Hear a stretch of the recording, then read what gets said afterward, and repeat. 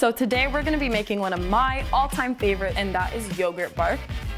We have our Greek yogurt, and to add on to that, you have your milk, your fruit of choice. I'm choosing blueberries. And then we're also gonna have vanilla extract and some honey as a sweetener.